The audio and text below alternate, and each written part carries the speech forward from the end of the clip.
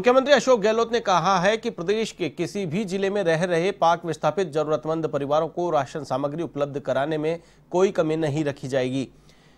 CM Gehlot ने इस संबंध में सीमांत लोक संगठन के अध्यक्ष हिंदू सिंह सोढ़ा का पत्र मिलने के बाद अधिकारियों को निर्देश दिए कि पाक विस्थापित परिवारों को राशन सामग्री समय पर मिले, यह सुनिश्चित किया जाए। मुख्यमंत्री को सोढ़ा ने अपने पत्र में अवगत कराया कि प्रदेश के विभिन्न जिलों में करीब 6000 पाक विस्थापित परिवार रह रहे हैं। उनमें से कई जरूरतमंद परिवारों को लॉकडाउन के चलते राशन सामग्री की आवश्यकता है। सीएम गहलोत ने इस संबंध में अधिकारियों को आवश्यक निर्देश दिए थे कि जिस पर संबंधित जिलों के कलेक्टर से रिपोर्ट मांगी गई थी। कलेक्टर्स द्वारा भेजी गई रिपोर्ट के अनुसार जयपुर ज़िले के जामडोली, गोविंदपुरा एवं मांग्यावास में रह रहे 500 पाक विस्थापित परिवारों से जिला प्रशासन संपर्क में है एवं इन परिवारों को राशन सामग्री वितरित की जा रही है।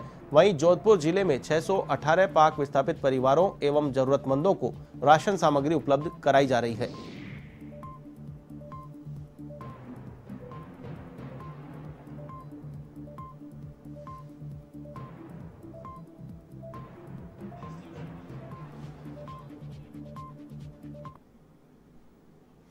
राजस्थान में कोरोना पॉजिटिव मरीजों का आंकड़ा लगातार